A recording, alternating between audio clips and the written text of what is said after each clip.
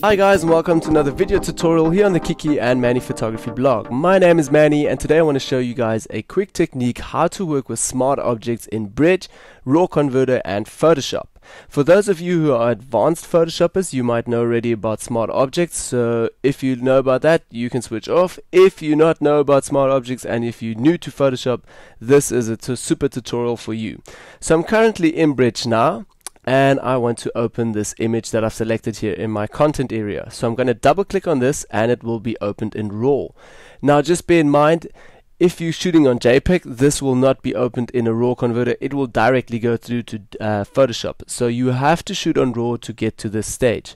Okay, so now I'm currently in the RAW converter and in the RAW converter on the right hand side you obviously can do your adjustments and I'm quickly going to do a rough adjustment on this. Just change my temperature a little bit and fill lights a little bit up. This is in no means a tutorial for retouching on skin or anything. This is just for the Kiki tutorial quickly to show you guys how to work with smart objects.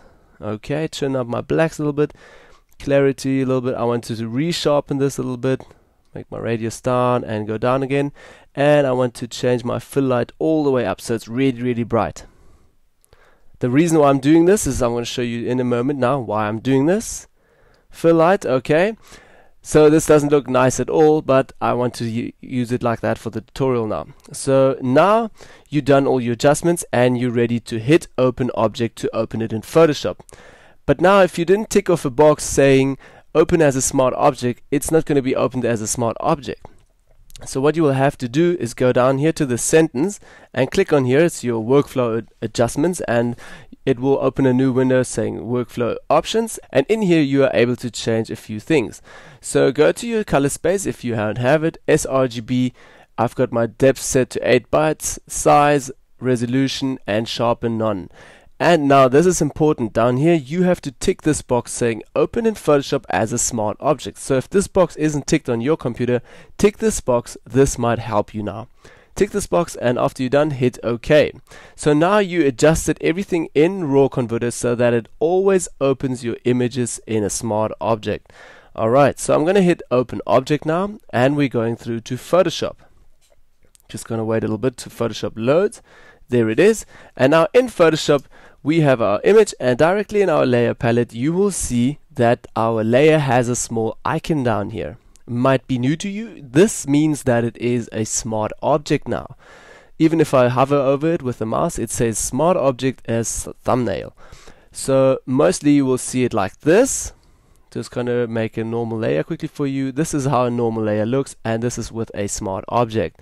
Now what this means actually is that you are able to go back and forth in your raw converter if you change it to a smart object. Let me show it to you quickly. If I'm now photoshopping on this image, doing an adjustment quickly and darkening it really or quite a lot, just doing a rough adjustment on this layer. Now I will do some tones and saturation. Go back again in my adjustment layers hue and saturation, turn my saturation down a little bit like that. Okay, go back again and in my layers palette, now I noticed after photoshopping quite a while, then I noticed uh, I maybe wanted to change something in the raw converter that it looks directly different on here. So now you are able to actually do that. You are able to double click on the small icon and it will directly take you back to the raw converter and you're able to edit on that again. Say if you don't have a, a, a smart object, you had to go all the way back and start over again. So with smart objects, you are able to do that. Just double tap the small icon down here. It will go back directly into the raw converter. So say in the raw converter, you didn't want to turn up the fill lights so much, then you'll just take it down all the way the fill lights and you say, okay again. Now directly uh, they're preparing the smart object, Photoshop, and the adjustments will be totally different. Now have a look. That directly changed all of my adjustments that I just did. So now if I think I have to change something again, I can always go back and forth in my raw converter. Now that helps me quite a lot in my workflow. So that's one trick I wanted to show you in how to work with a raw converter and smart objects. But now, while I'm in smart objects, I'm just going to delete these other layers quickly.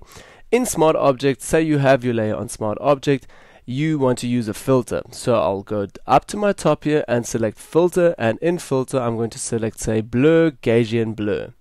And in Gaussian blur, I wanted to blur my whole image or say just my background, so I'm going to blur it quite a lot. Or say I want to blur the skin for now. I would never do this on a skin retouch, so this is just for the tutorial. Alright, so say I'm going to blur the skin with a Gaussian blur, and I'm going to hit OK what happens now directly, it's not going to create a new layer or going to tell me adjustment layer with filters. It makes a layer down here saying smart filters and Gaussian blur. Now I'm pretty much I'm able to actually make this smaller and bigger in your layer palette, but I'm also able to blend stuff out and blend it in again. Plus I'm also able to adjust the whole Gaussian blur tool again. If I double tap on here, it actually takes you directly to the Gaussian blur tool. In this one, you're able to just uh, change the opacity and blending option.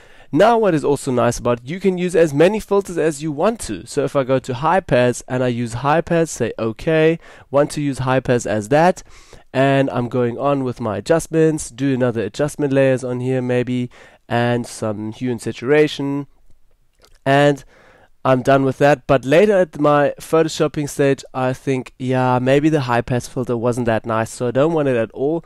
So then you're just able to go down here and deselect it, and it will blend it out again.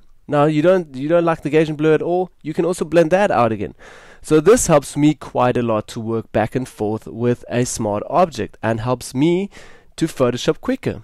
Now, what also happens sometimes, if you say you opened an image just normally and you have a JPEG just normally and you don't have a smart object. So what you're going to do then, what you're able to do is go back here to filters and say convert for smart filters.